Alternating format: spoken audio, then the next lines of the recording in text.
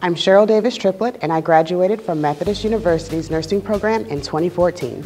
I now work at the Fayetteville VA, North Carolina Coastal Healthcare System. I'm an assistant chief nurse of ambulatory care. My education at Methodist University taught me to deal with high stress situations. It also helped me to deal with a lot of people because nursing is a very caring profession. So I'm able to relate to people in different ways, and that also prepared me for a leadership position. I'm thankful for my time at MU because I was able to develop really strong relationships with faculty and staff.